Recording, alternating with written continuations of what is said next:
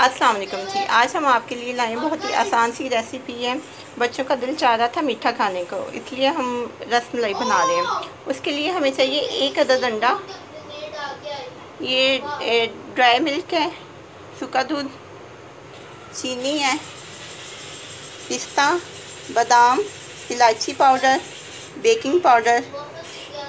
चलें जी, स्टार्ट करते हैं। ये हमने दूध अच्छी तरह से इसको हमने बॉइल किया है। इलायची पाउडर डाल दिए। ये चीनी डाल रहे हैं। ये देखें जी, हमने तकरीबन डेढ़ किलो दूध लिया था, उसको अच्छी तरह बॉयल कर कर के ये तकरीबन एक किलो दूध रह गया है। उसमें इलायची पाउडर डाल दिया है, चीनी डाल दिया है। इसको अच्छी तरह से हम बॉयल करेंगे कि ये थिक हो जाए थोड़ा। ये एक अदद अंडा है। इसके लिए हमें ये एक कप ड्राई मिल्क चाहिए दूध। और तकरीबन हाफ़ टी स्पून हमें चाहिए बेकिंग सोडा ये देखें जी बेकिंग पाउडर हमने डाल दिया है। अब ड्राई मिल्क डाल रहे हैं इसमें। इन चीज़ों को अच्छी तरह मिक्स कर लेना है।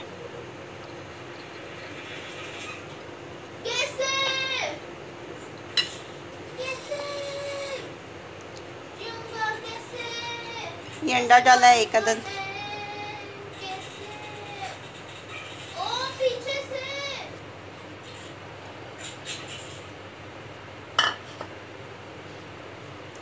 ये मिक्स आपने इसको अच्छी तरह से करना है।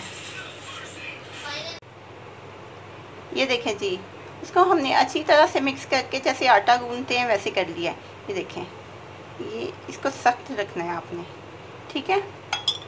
चलिए अब स्टार्ट करते ये देखें जी हमने ये राउंड शेप में बना ली है। इसको आपने हाथों पे हल्का हल्का सा घी लगा के ऑयल लगा के इसको बनाना है। आप शे, शेप कोई भी दे सकती हैं ओवल शेप दे सकती हैं राउंड में दे सकती हैं कोई भी दे सकती हैं। चलें जी अब हम दूध में इसको शामिल करने लगे हैं। ये देखें।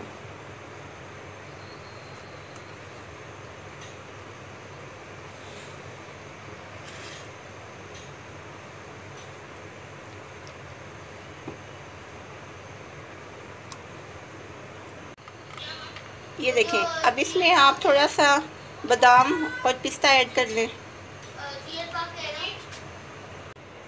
ये देखें जी, तकरीबन इसको आपने पाँच मिनट के लिए चूल्हे पे रखना है। ये देखें रस मलाई हमारी तैयार हो गई हैं। ये देखें।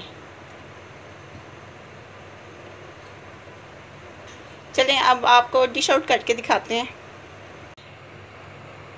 ये देखें जी रस मलाई हमारी बिल्कुल तैयार हो गई है। बहुत ही यमी लग रही है। आपको डिश आउट करके दिखाते हैं। ये देखें जी रसमलाई हमारी बिल्कुल तैयार है। बहुत ही मज़ेदार बनी है, बहुत ही सॉफ्ट बनी है। अगर आप इतनी ही चीज़ें जैसे हमने बताया वैसे ही बनाएँगे तो पहली दफ़ा में ये आपकी बहुत अच्छी बनेगी रसमलाई देखें, आपको निकाल के दिखाते हैं।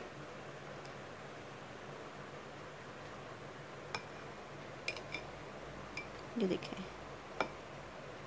ले। कितनी सॉफ्ट है। ये देखें।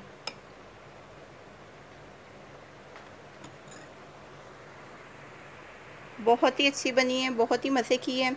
आप बनाइएगा और प्लीज़ बताइएगा कि आपको कैसी लगी। सब्सक्राइब करने के लिए शुक्रिया। दुआ में याद रखने के लिए शुक्रिया। अपना ख्याल रखिएगा, बच्चों का ख्याल रखिएगा। बहुत शुक्रिया, अल्लाह हाफिज़।